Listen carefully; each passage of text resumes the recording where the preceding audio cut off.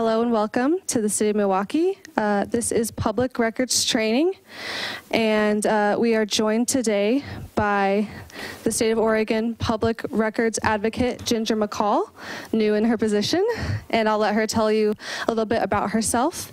And uh, we are hoping to have a great training today about how to make a public records request. If you cannot see the screen here in the room, um, feel free to move a little bit over to the side since it is at an angle, whatever works best for you.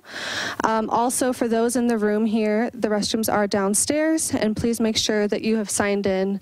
Um, That would be great. And then for those watching at home, this is a, a live stream, and it will be available to watch later as well. So you're always welcome to view that later.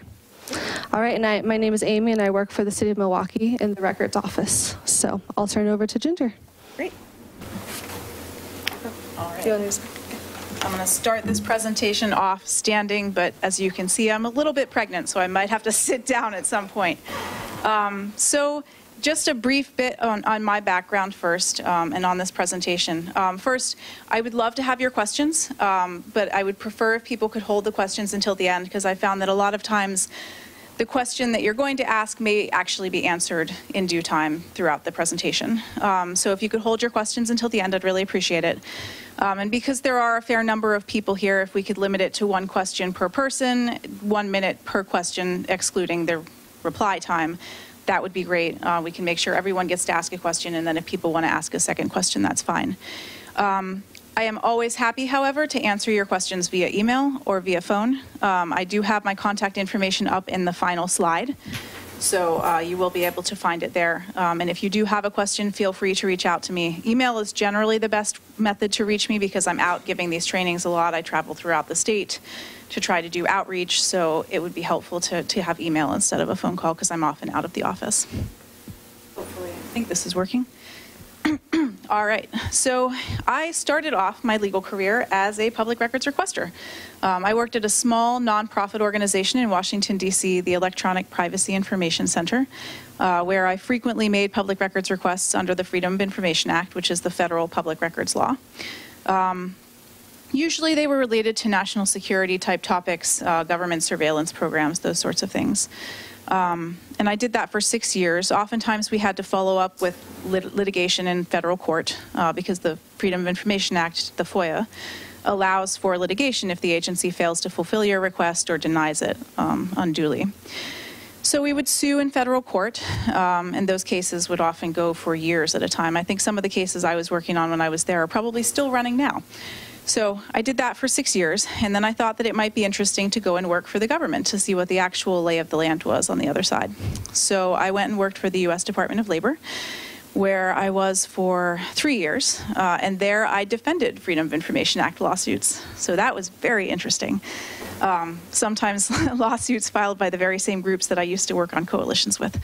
Um, but it was really useful, uh, and I, it was very helpful for me to see that some of the misconceptions I'd had when I was on the outside about the government. Uh, the U.S. Department of Labor is a fairly large and well-funded agency, but still it has a lot of challenges.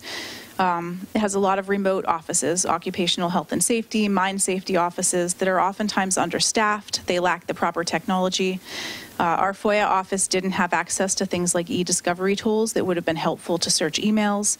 So there were just a lot of challenges that even a large federal agency has. So you can imagine the kind of challenges that a smaller county or city office might have. Uh, so I did that for three years before I was fortunate enough to be offered this position. Uh, and I was appointed by the governor last year, I think January, and then I was confirmed uh, in February, and I moved out here in April. And uh, after a two week journey in my Honda Fit with my partner and three dogs, uh, I arrived here to start this job. So, um, I've been running the office ever since, and I just hired myself a deputy, Todd Albert, who's back in the corner there. So if you call my office and you get someone who's not me, it's probably Todd. Um, so yeah, uh, that is a little bit on my background. And tonight I'm going to cover both the FOIA and the Oregon State Public Records Law. They have a lot of similarities, but there are also some important differences. Um, and this is fairly comprehensive. I apologize if it gets a bit dry sometimes, but I wanted to make sure that you had all of the relevant details so you could file a request and actually get a good outcome. So first, got some clicker trouble here. Oh, there we go. All right, the basic rule. So the basic rule, this first rule is the FOIA. Um, except with respect to the records made available under paragraphs 1 and 2 of this subsection, um, each agency, upon any request for records which reasonably describes such records and is made in accordance with published rules, shall make the records promptly available to any person. So that's the basic FOIA rule. You'll note you don't have to be a citizen or even a resident of a particular state uh, or even a resident of the U.S. to file a FOIA request. Anyone can file a FOIA request. Um, this, however, only applies to federal agencies. Uh, the federal judiciary and federal legislature are not included in the FOIA. Uh, in fact, there are not really government transparency or public records laws that apply to those bodies. Uh, but this does apply to federal agencies. The Oregon state rule is every person has a right to inspect any public record of a public body in this state, except as otherwise expressly provided. So you don't have to be a citizen or a resident of Oregon to make an Oregon Public Records request. Uh, and this applies to state agencies, it applies to local entities. So your city, your county, your special district. district. Oregon's law also applies to Oregon's elected officials, although you'll see that there are some differences in the way that they can treat public records requests. But this applies to elected officials on both the state level and the local level. So you have a city councilor, that person is a public body for the purpose of this law. Uh, though they may sometimes try to maintain that they are not, they are in fact a public body subject to this law. So you'll see in those statutes that there was there was an exception clause. So the exceptions under a public records law are called exemptions. Um, and generally, in both of these laws, there's a presumption of disclosure. The government is supposed to give you the documents unless there's some legal reason for it to withhold those documents. And that legal reason, that's the exemption. So under FOIA, there are nine exemptions. In Oregon, however, there are 570 plus exemptions. Uh, the legislature is still churning them out reliably every single session. Um, look for a few more this year, I'm sure. Um, there are a lot of them. I'm going to talk about them, but I cannot possibly cover every single one of them in this presentation. We would be here all week. Um, but I am going to cover the basics. Um, many of those Oregon public records exemptions are in ORS 192, but not all of them. So these are the FOIA exemptions. Um, briefly, uh, exemption one is classified material. In two is internal personnel rules and practices. Three is information exempted by other statutes. So that's a catch-all. It sweeps in a lot of federal statutes. Exemption four is trade secrets or commercial or financial information of a company. Exemption five is privileged interagency or intra-agency memoranda or letters. That basically sweeps in your legal privileges, so attorney-client, work product, deliberative privilege. Exemption 6 is for personal information. Exemption 7 is investigatory records compiled for law enforcement purposes.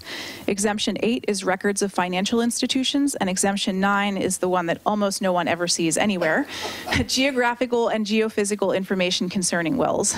So that one there, that, that is worthy of being included in Oregon's 570 because it's very specific and it's clear that there was a lobbyist effort that created this exemption because there's no other reason it should be there.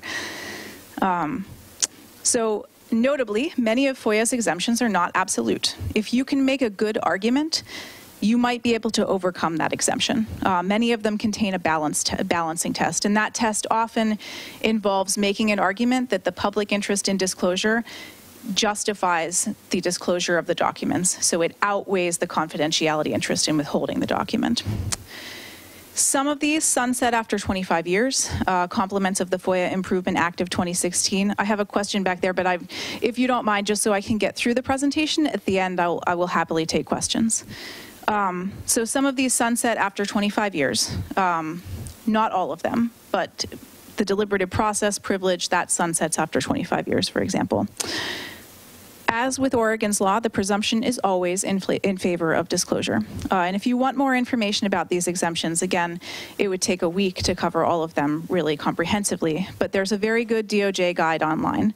Um, at this URL. And again, I will distribute these PowerPoints at the end. Um, or you can just Google US DOJ FOIA guide, uh, and that should turn it up. It has a lot of very comprehensive information, including case law on these exemptions and when they apply and when they don't apply. So Oregon, again, over 570 exemptions. Um, Though notably, there are 570 plus exemptions, there is not an it will embarrass the government exemption. So don't ever let them try to tell you that. Uh, That is not an exemption. Um, There are, there's a fair amount of overlap between Oregon's exemptions and the FOIA. A lot of them protect the same interests, like commercial, confident- co- confidential commercial information, or law enforcement information, or legal privileges. Uh, Those are all also included in Oregon's exemptions. And again, the presumption is always in favor of disclosure. Compliments of the 2017 statute that also created my position, you can now find a full list of Oregon's exemptions on the Attorney General's website, and they are required to keep that current. So if you want to look at that list and peruse it, it's up on that website.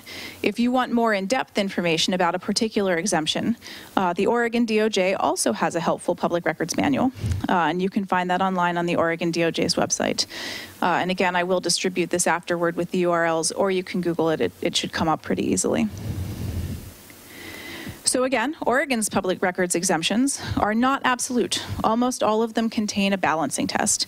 And that balancing test, this is designed to allow government officers to weigh various interests and make a decision about whether or not to disclose a document. It's supposed to create some flexibility in the law, allow the law to accommodate various factual scenarios. Um, Oftentimes, again, it's a public interest balancing test, so they're weighing public interest on one side versus interest in confidentiality on the other. So there are two main provisions of ORS 192 that contain the exemptions, uh, but this is not an exhaustive list because there are so many of them. Most of them are scattered out across other statutes, but again, you can find that list on the AG's website. But many of the most frequently cited exemptions are in ORS 192.345 and ORS 192.355. Um, 345, all of those exemptions have the same balancing test. It's a public interest balancing test. 355, each exemption has its own balancing test that's baked into the text of the statute. So if you read the text of the statute, it'll tell you what interests the government is supposed to think about when deciding whether or not to disclose. So, what is a public interest for the purposes of exemptions? Um, It's information that facilitates public understanding of how government business is conducted. It has to be of value to the public at large and not just an individual. And the Court of Appeals said if a government action attracts significant attention or controversy, that may suggest a heightened public interest. So if you've heard about it on television, if you've read about it in the newspaper, there's probably a heightened public interest in it. So that's the sort of thing that when you make an argument against an exemption, you want to cite that kind of public interest. And we'll talk a little bit more later about how to make those kinds of arguments. So there's an exception to the Oregon exemptions. Um, most of them do not apply after 25 years. So if you're looking for a document that's 30 or 40 years old, provided that it hasn't been destroyed um, per a legal record retention schedule, um, then it would no longer be exempt unless it's one of these four classes of records medical, sealed, custody, or student records. Those can still be exempt after 25 years. So fees. Unfortunately, under both the FOIA and the state public records law, agencies can charge you fees uh, for processing your request.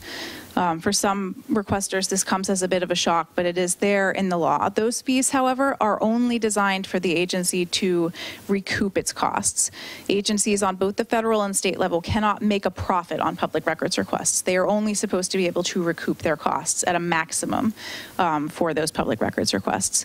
Um, They can recoup costs for time spent searching, for time spent reviewing documents and applying redactions, and for time spent duplicating documents. Um, They can also recoup physical costs for duplicating documents, so the physical cost of copies or for postage. Um, Agencies have to set forth the rates for these, for, for these fees uh, in either regulations on the federal level or on the state level in their public records policy. Every state, every body here, every public body here in Oregon is required to have a public records policy. Many of them do not. My office is working on that um, and hopefully working with them to craft something that is favorable for requesters. Um, But they are supposed to have a public records policy and it is supposed to be publicly available. Um, If you don't see it on the website, feel free to call them and ask them for that policy. That policy should contain information in it that tells you not just how to submit a request, but also what the fees are that you would be expected to pay for that request. Um, there's an effort on the state level to push for a uniform fee schedule. There's a draft policy that's currently, you can find it up online on DAS's website. Um, it's just a draft. I know that there are substantial revisions to that that are coming. Eventually, it's going to be published for notice and comment. And I would encourage you, if you're interested in public records issues, to weigh in on that. Um, it, it seems to me like these fees are often very onerous for people who are making public records requests. So this is a useful place to make your voice heard. Um, they will be taking public comment once it's published. Uh, and I've seen on the federal level, at least, that public comment does have a real opportunity to influence things. So uh, keep an eye on that DAS fee schedule and what's happening with that, and feel free to comment once it's published for notice and comment. Um, these fees can be, as I mentioned, quite substantial, um, hundreds or even thousands of dollars sometimes. But this is a good moment when you get when you get a fee estimate, which every agency, if they're going to charge you fees over $25, has to provide you with an estimate first. They have to. They are legally required under both the FOIA and the Oregon statute to do that. At that moment, it's a good time to reach out to the agency and have a conversation with them about how to narrow a request. Um, I think one of the most important messages that I would have is to make sure that you create a narrow request because that's in everyone's interest. Um, and this is a good opportunity to reach out and have that conversation. So both laws allow for reduced fees in some scenarios. Under the FOIA, there are three classes of requesters. Um, the first are the favored fee categories. So that's news media requesters, educational requesters, or non-commercial scientific institutions. Those kinds of requesters only have to pay duplication fees. They don't have to pay for review, they don't have to pay for search. Then there are commercial requesters. Commercial requesters are you know, your typical a, a, data seller that's going to take this government data, repackage it, and sell it out to industry, or an attorney perhaps engaged in a civil lawsuit who wants these documents for that civil lawsuit. Commercial requesters pay for review, they pay for search, and they pay for duplication. And then there's everybody else, which is probably going to be most of you. Um, Everybody else just has to pay for search and duplication in a typical scenario. In Oregon, the standard is a little bit looser.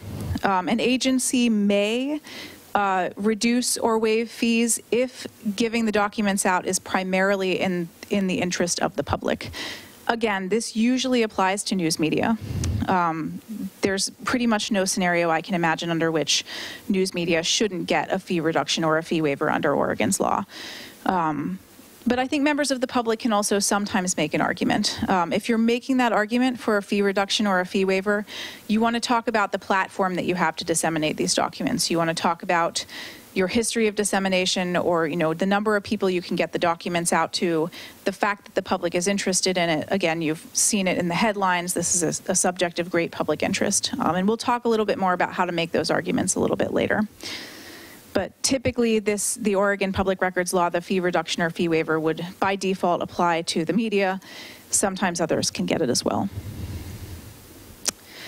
both statutes have a deadline, and they're actually a fairly similar deadline. Um, under FOIA, there is a possibility for expedited processing. We'll talk about that later, but it's a very difficult standard to meet. If you meet that standard, the agency has to make a determination in 10 days.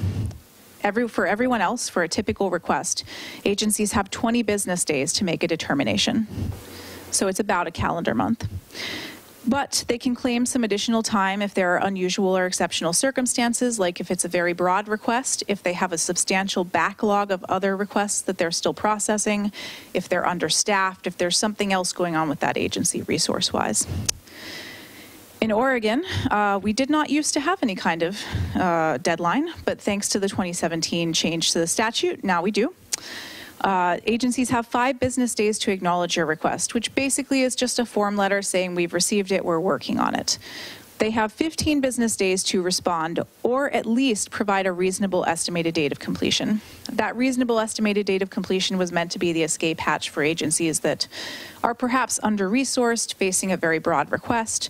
It's not supposed to be the default. Uh, the default is supposed to be responding within 15 business days.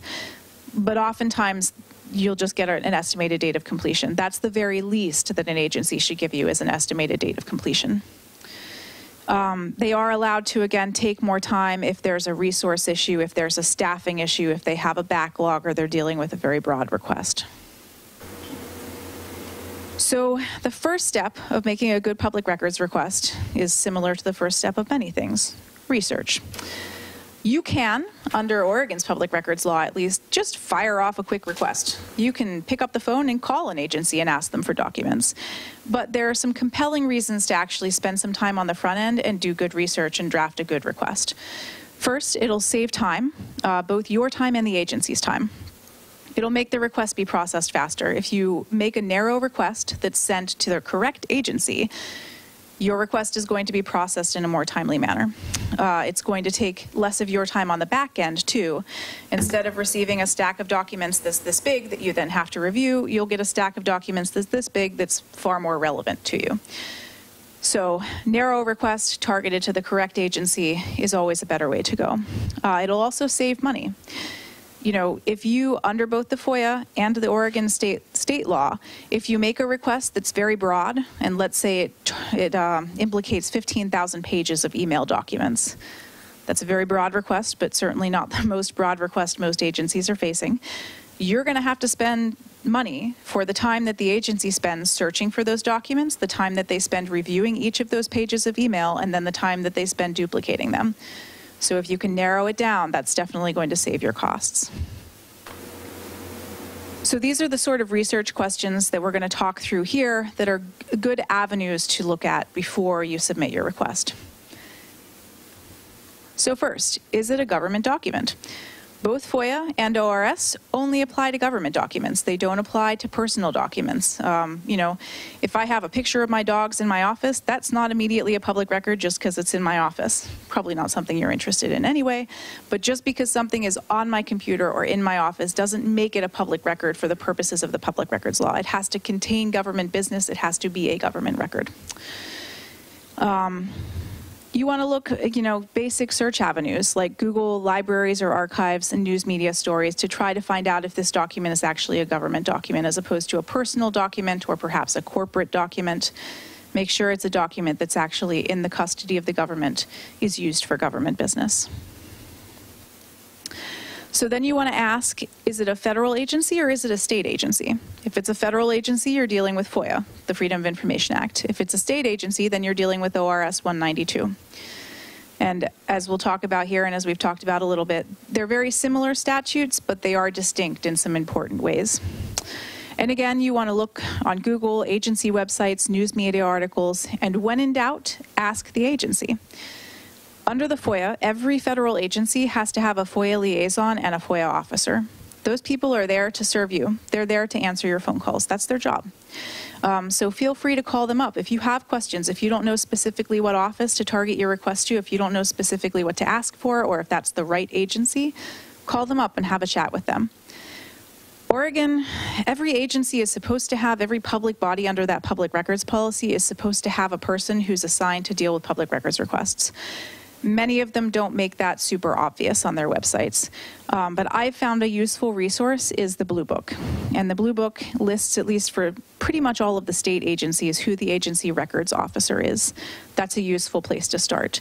If you're looking on a local level, you want to work with uh, a city records officer or a recorder. Those are the kinds of folks who would typically deal with a public records request. So your next question should be, is the document already in the public realm? There's a push on both the federal and state level for a thing called proactive disclosure. Proactive disclosure is where a government body looks around at the public records requests that it receives and the document sets that it possesses and tries to put things up online proactively before any more public records requests come in so that the public has access to those documents without ever having to make a public records request.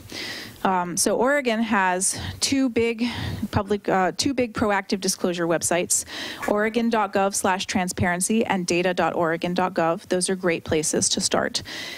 Federal agencies each have their own FOIA reading rooms and libraries. Um, some of them might also have proactive disclosure rooms. Um, I know that the EPA and DOJ and some of the other agencies on the federal level are making a big push to proactively put their documents up online. So you want to check there first. What you're looking for might have already been disclosed. Um, some agencies also, when they process a FOIA or public records request, then routinely put the documents, those responsive documents, up online. I know EPA does that on a quarterly basis. So you can find what, all the documents that everyone else has already requested and paid for are already up for free on the internet for you.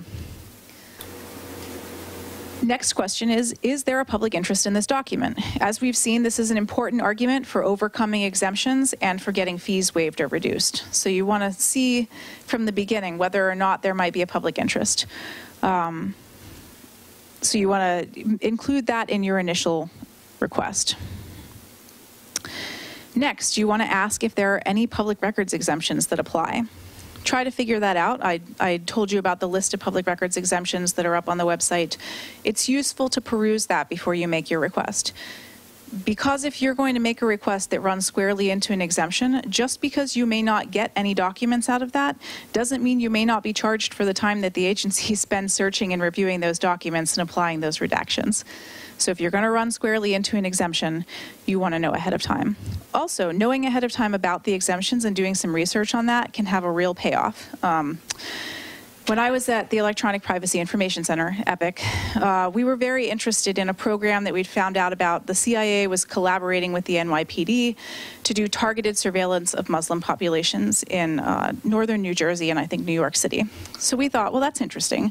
We would love to get a hold of those documents about that collaboration because the CIA is not supposed to engage in domestic surveillance. In fact, they are barred from it. But the CIA has a very broad FOIA exemption. Uh, under, under Exemption 3, it's a statutory exemption that basically says that you can't get any documents about the operations uh, or staffing or anything about the CIA. But there's an exception to that exemption, and that exception is for CIA Inspector General reports. Once I found that exception, I thought, well, I know the Inspector General did an investigation into this program. I know there was a report that was generated as a result of that. So I targeted my request and I made it specific to the Inspector General report.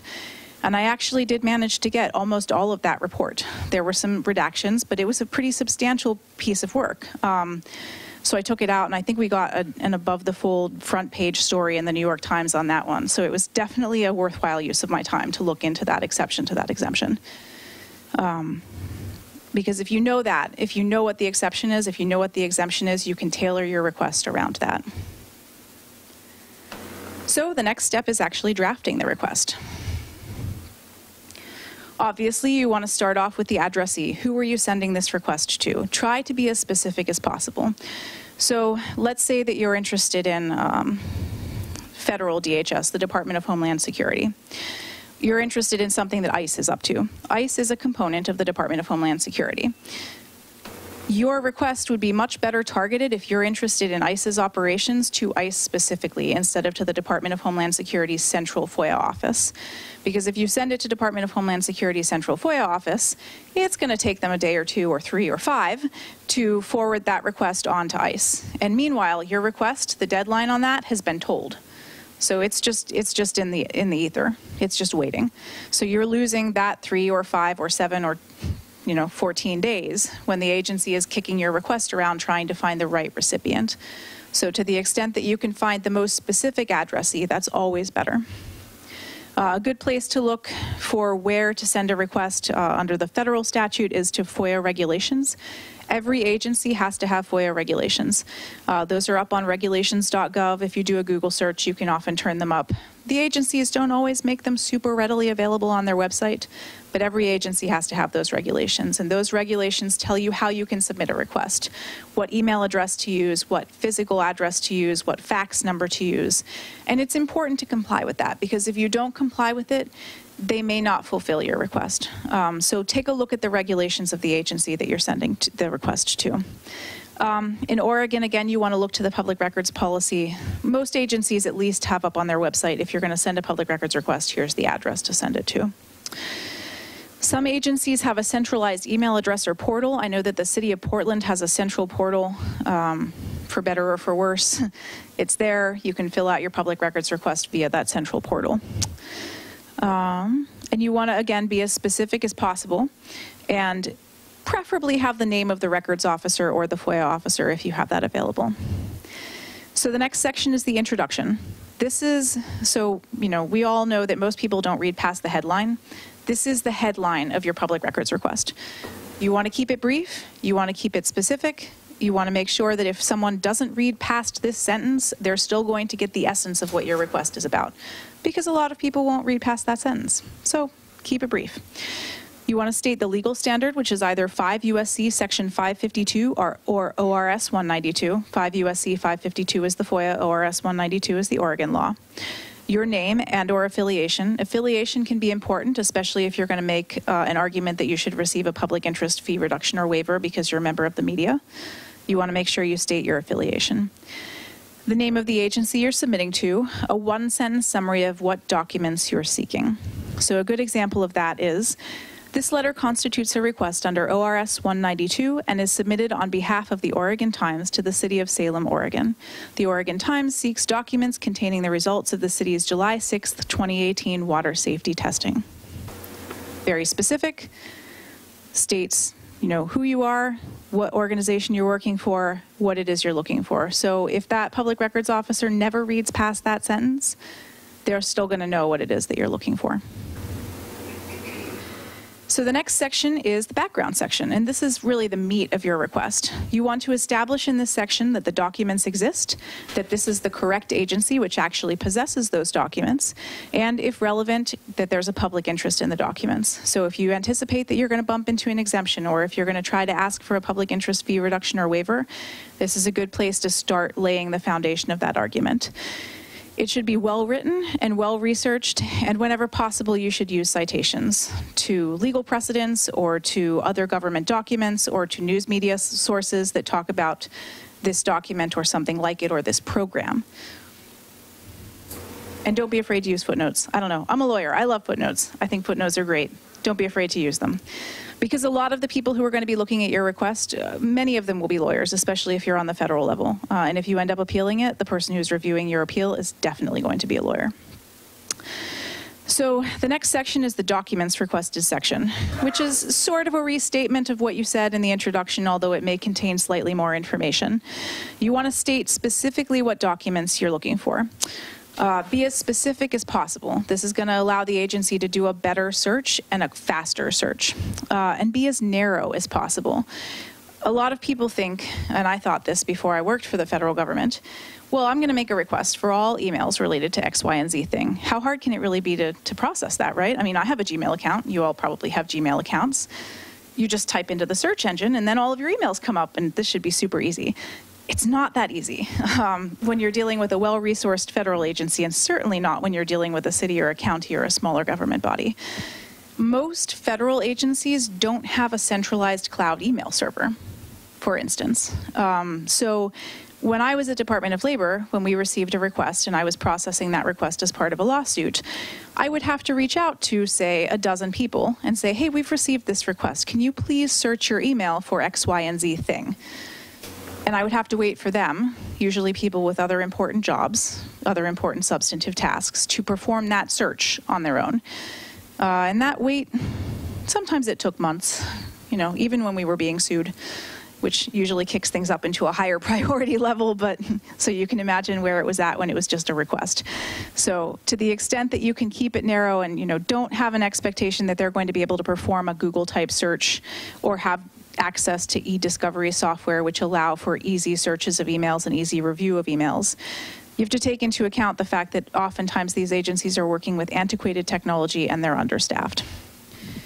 So, some narrowing suggestions, especially if you're dealing with emails, um, include a date range or specific dates limit email searches to specific officials. You know, you're probably not so interested in what, you know, a low level federal employee is saying about a particular policy.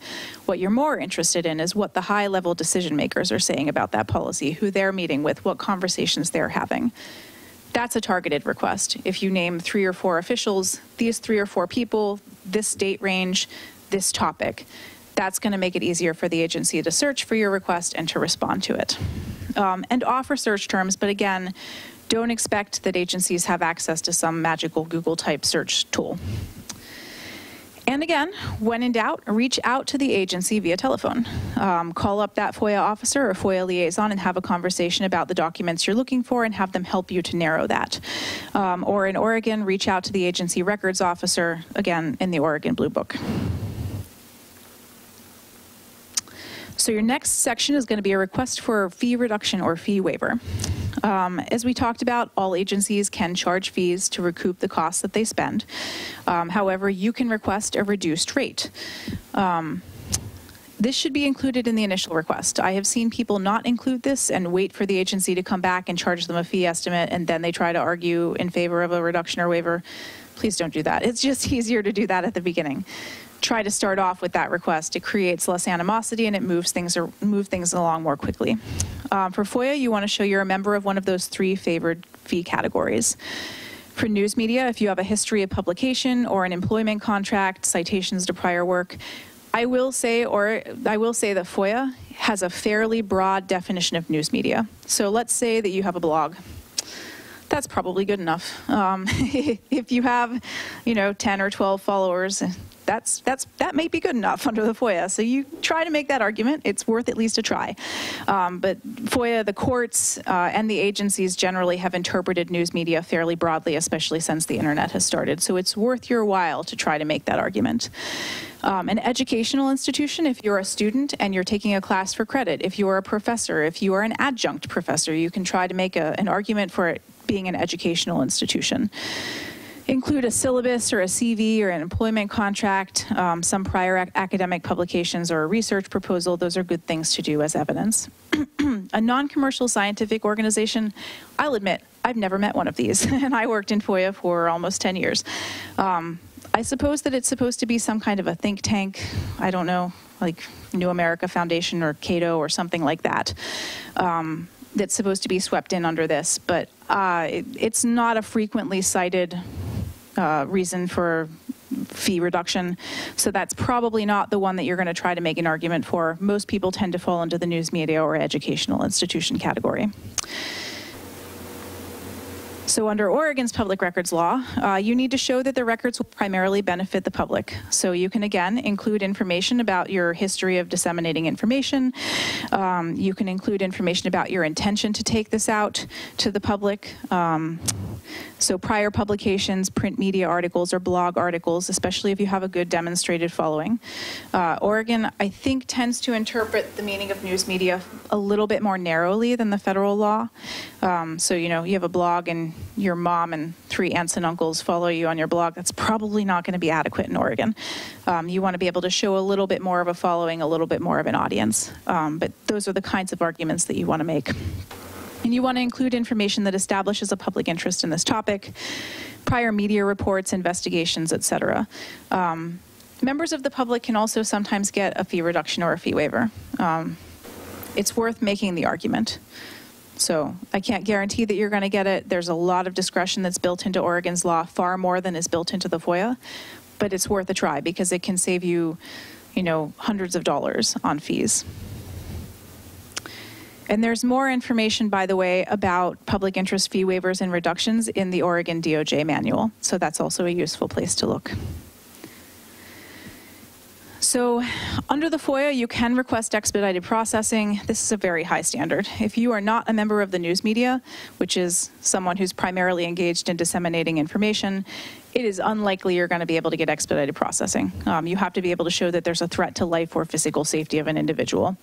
It's a high standard, so probably not something that you're going to be spending your time doing unless you're a news media representative. Then sometimes you can make that argument. Because for news media representatives, all that you have to show is that there's an urgency to inform the public about an actual or alleged federal government activity. So that's a somewhat lower standard. Uh, and this is this is an argument that's worth making if you're in the news media. And notably, you have to sign a certification of the facts asserted if you're going to try to make an argument for expedited processing, and that should go at the end of your request.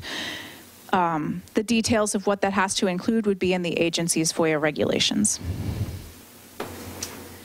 Uh, and then finally, your conclusion. Um, so, your conclusion, you want to restate the relevant statute, include a reminder of the deadline, always helpful. Um, it's either going to be 15 business days in Oregon, or yeah, 15 business days in Oregon, or 20 business days under the FOIA. Include contact information. More contact information is better. As you'll see, if you'd like to go online and watch the presentation that I gave to the government, I emphasize to them again and again and again to pick up the phone and call the requester if they have questions.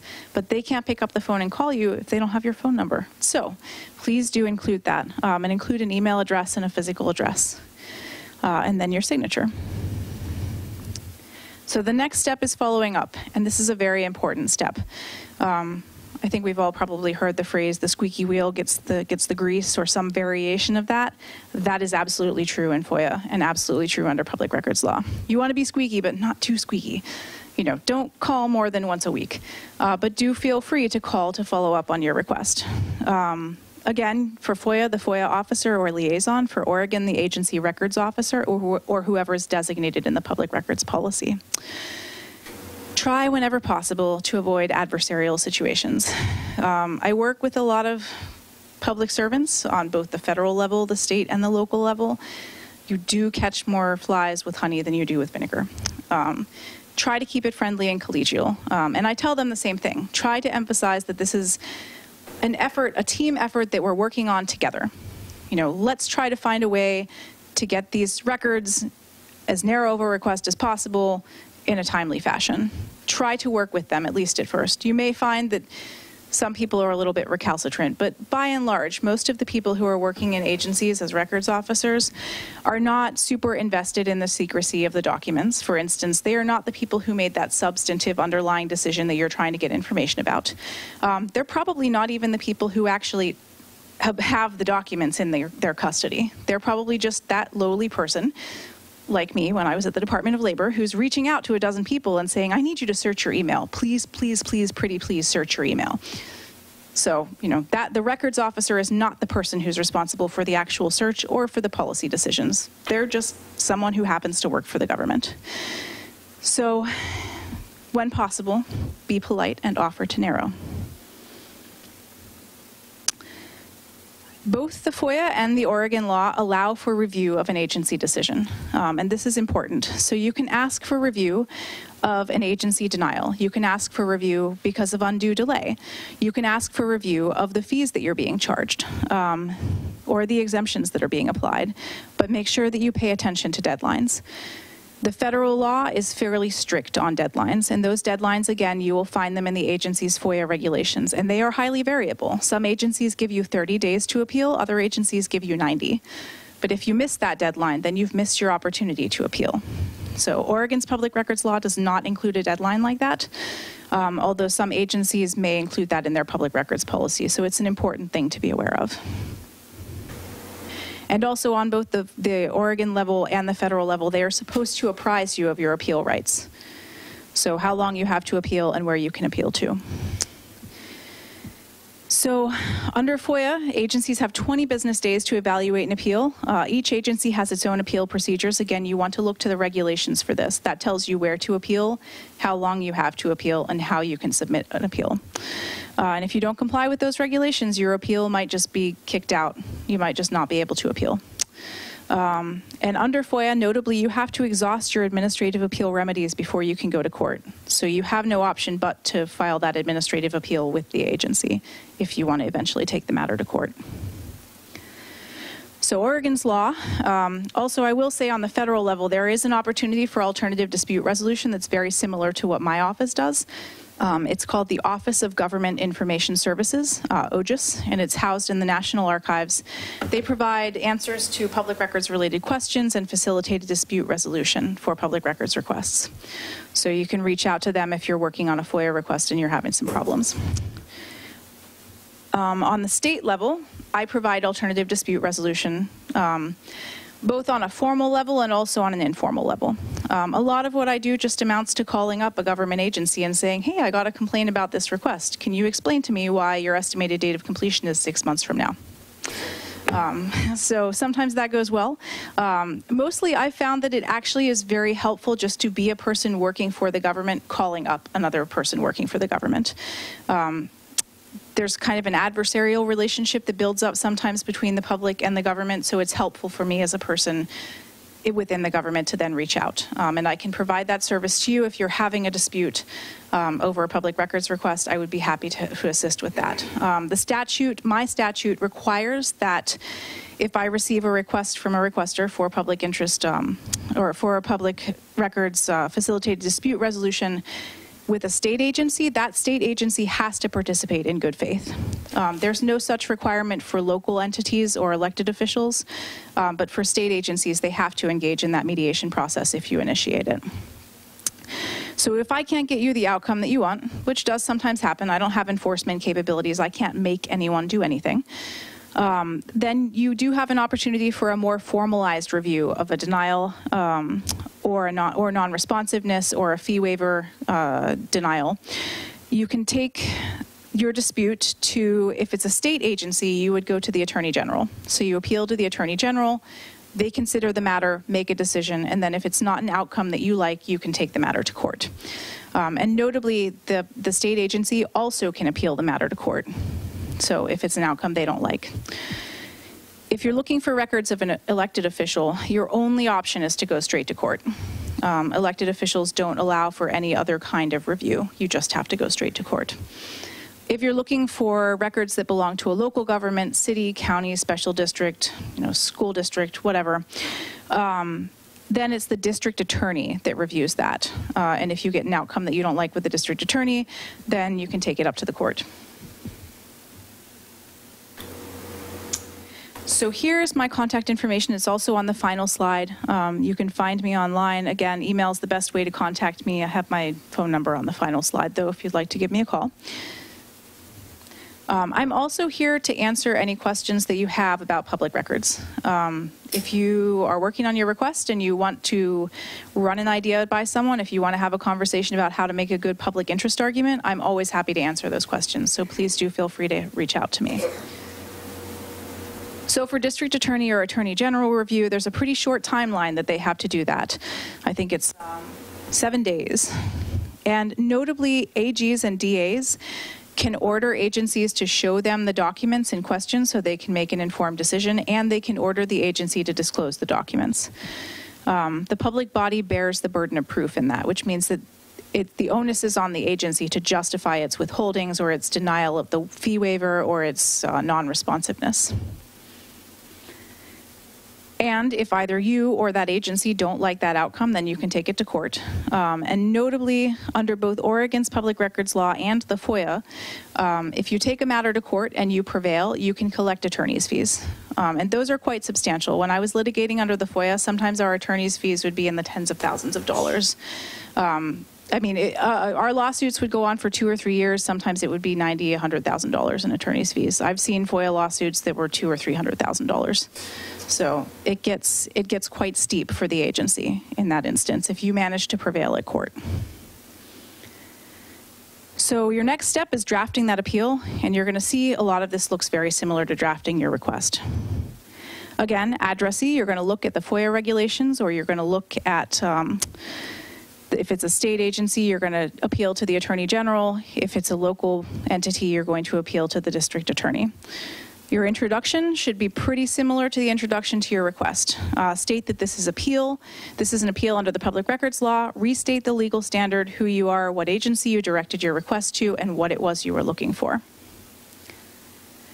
Factual background, you're just going to reuse what you did for your FOIA request or for your public records request. Um, and that's, it, that's very helpful to the person who's evaluating that appeal. Those back, that background information allows them to know more of what the request was about, why it's important, what the public interest is. So you should include that in your appeal. You also want to include a procedural background, which is the date that you sent your initial request, any responses that you received from the agency, or the fact that you didn't receive a response if the agency accepted or denied your request for a fee waiver or reduction, if the agency accepted or denied your request for expedited processing. Um, and you want to attach any relevant correspondence to that appeal. So if the agency emailed you back, you want to attach that. If you had a back and forth exchange with them where you made a good faith effort to narrow your request, you want to attach that to this appeal. And you want to make your argument for why the agency was wrong. Uh, And again, this should be clear and well-researched. Uh, You can look to the DOJ FOIA guide or to the, on the state level, the Oregon DOJ uh, Public Records Manual. Try to include citations if possible to cases, to regulations, to agency policy, to prior district attorney's decisions here in the state of Oregon. And make sure that you address all of the relevant issues in this appeal. This is your one shot. You can't file another appeal two months later. You should include all relevant issues in this appeal.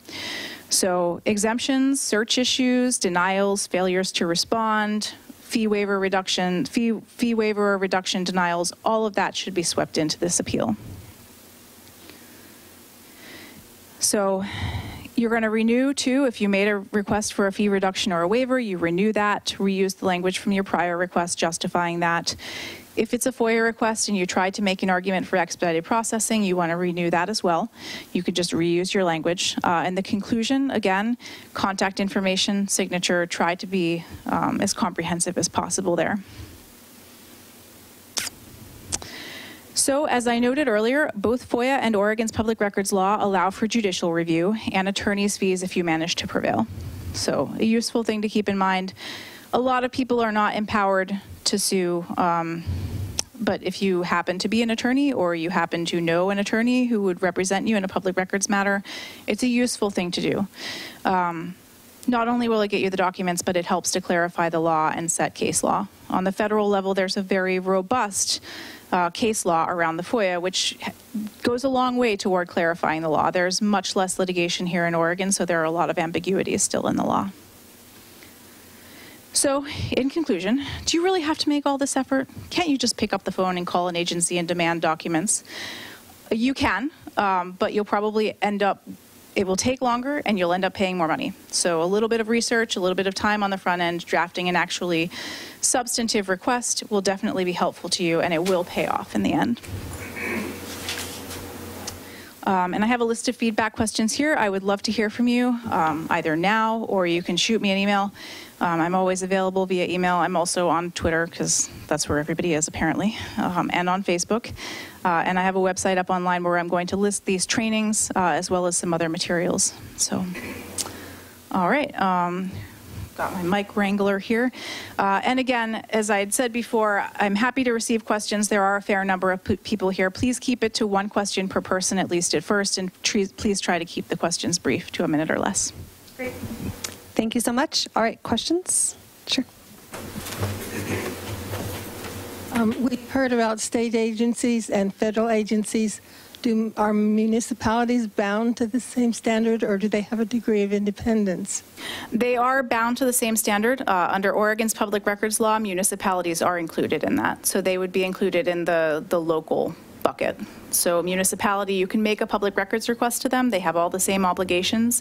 And if you have to appeal it, it would be appealed to the district attorney. More questions?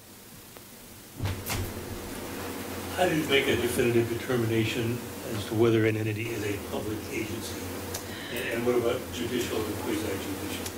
So the best place to look for information on that would be the, um, the DOJ records man, the DOJ Public Records Manual. It should have more information on which specific agencies uh, would be included. Um, I mean, as a general matter, all government bodies are included. So You- you- if it's judicial or quasi-judicial, that, I think that DOJ guide would probably be the best place to look. Or if you have a specific question about a specific entity, feel free to email me and I'll do some research and let you know.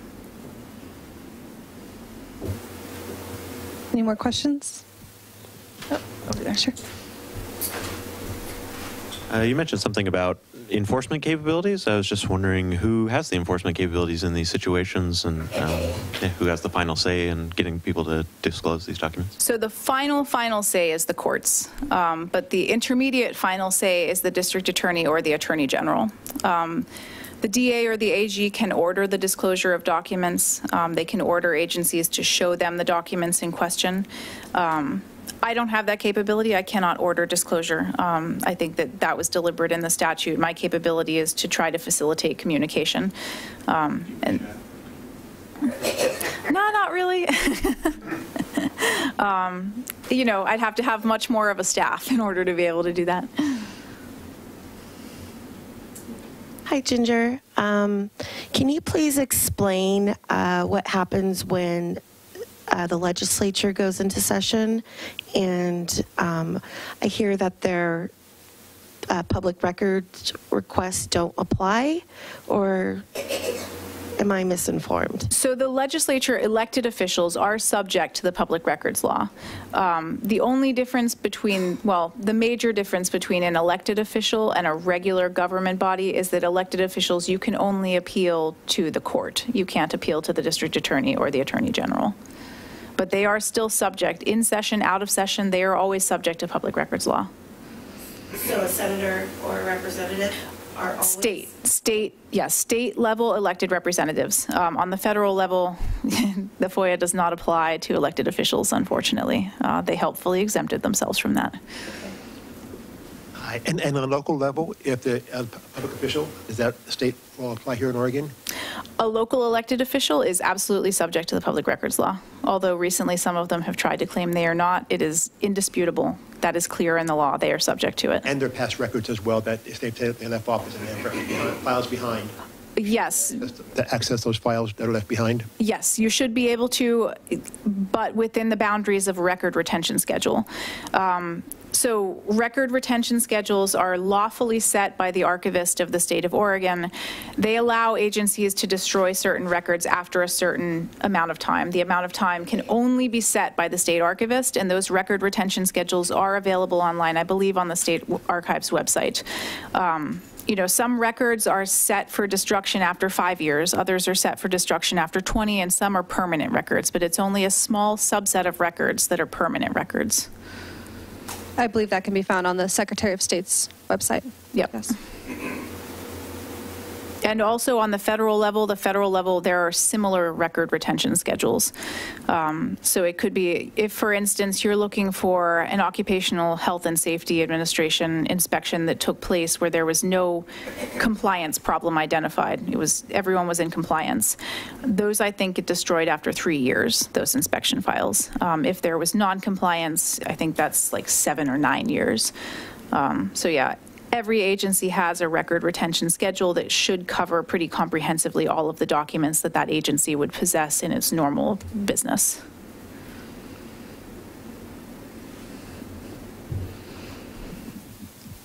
I have encountered a city of Portland senior planning person in the building department who is a bully. And I think I can resolve the issue and then go for a public request. Would you recommend it in that order? Or should I kick the beehive? So the question is, there's some underlying issue. She lied to me and she's a bully. And she's doing it under the cover of, you can't fight City Hall. I like this. And so I think I can resolve the underlying issue. I think it's not very big, but I want to go and be a journalist and review the people that she has beaten up in the past and as a, an honest citizen say, how was it dealing with her? And if I'm the only one, that's my problem. But if she has a pattern, I want to bust her. I think if you're worried about retaliation, it would definitely be better to resolve the underlying issue first and then move on to the, like, accountability for the processes that created that situation. So her judgments, the things that she has worked on with complaints, are a public record. um, I, I believe so, yeah, they should be. They may be subject to exemptions, but yeah, typically those would be, would be a public record. Cool.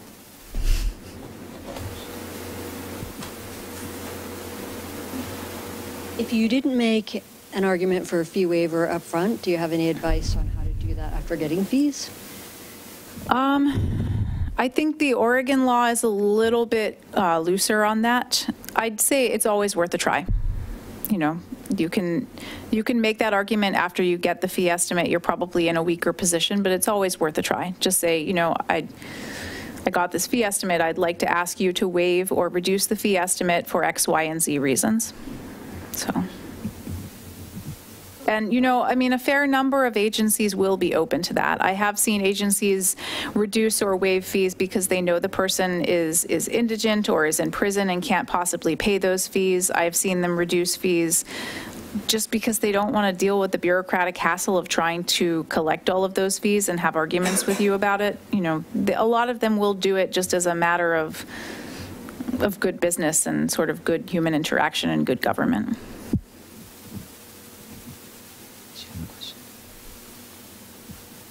All right.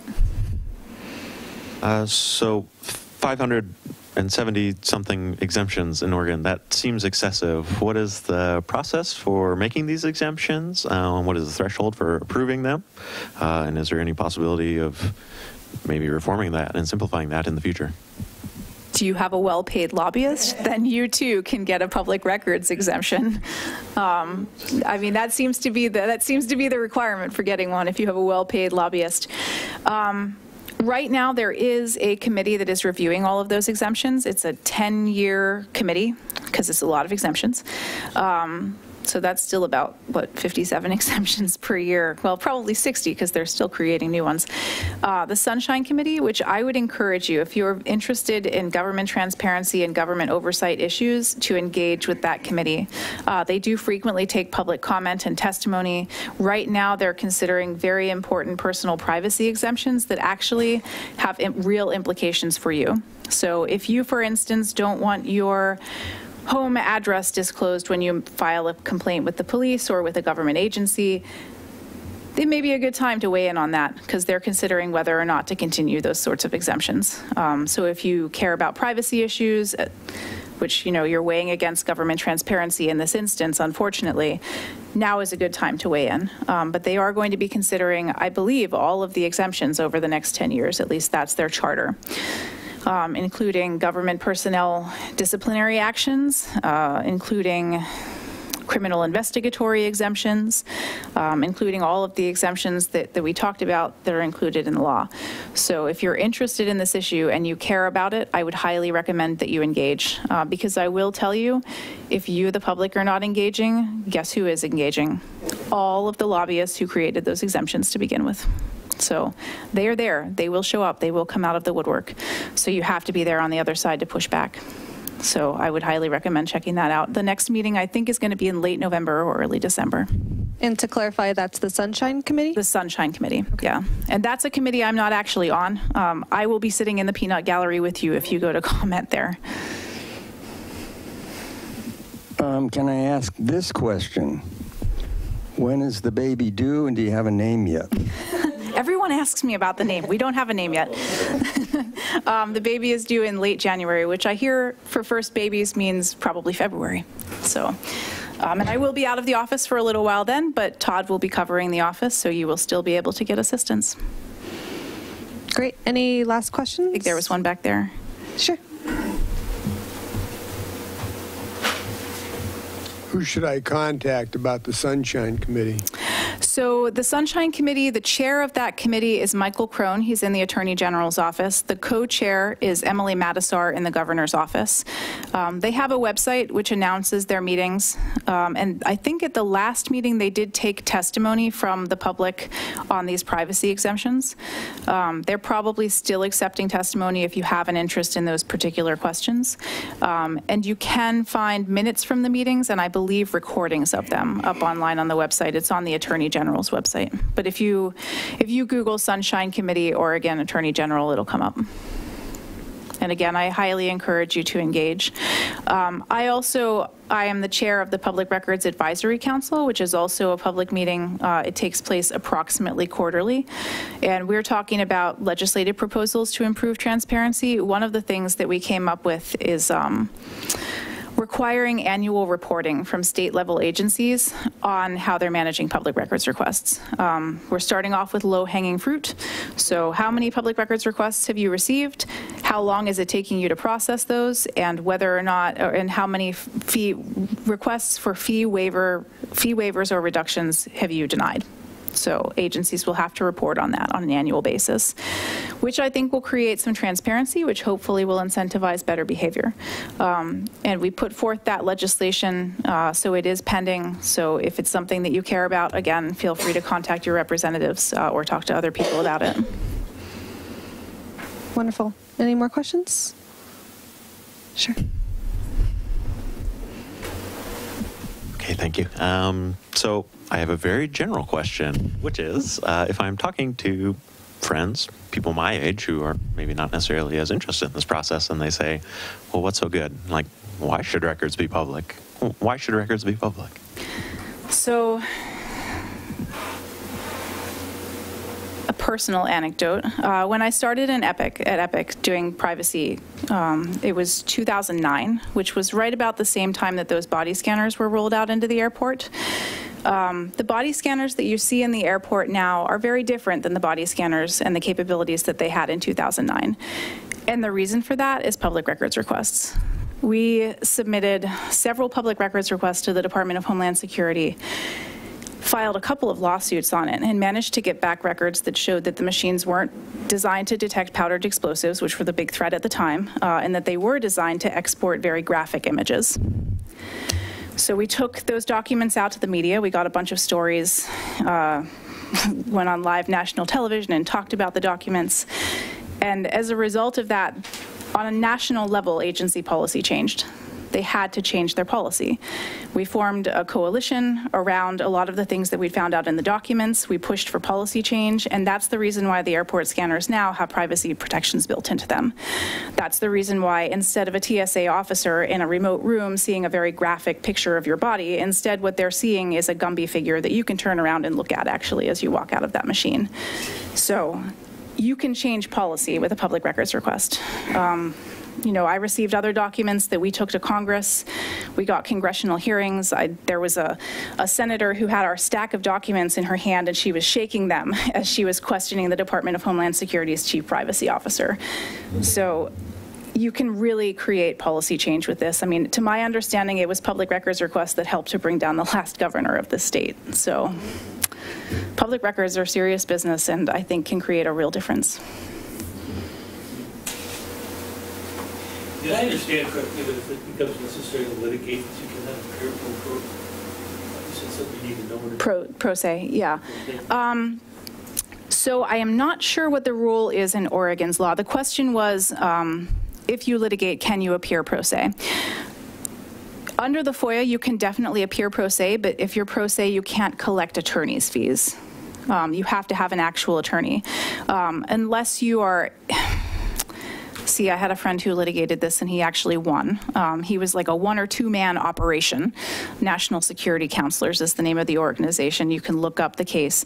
Um, and he litigated whether or not he could collect FOIA fees. Uh, and the agency tried to claim that he was pro se, but because he'd incorporated as a nonprofit, because he had some other clients, they found that he was not pro se. He was an actual attorney and he could collect attorney's fees. Um, so under the FOIA, there's a little bit more room for that. I'm not sure what the rule is under Oregon law, but I believe you can still appear pro se. You may just not be able to get attorney's fees.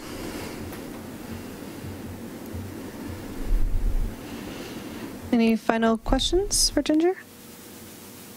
Great. Well, thank you all for being here. I really appreciate it. Um, if you have.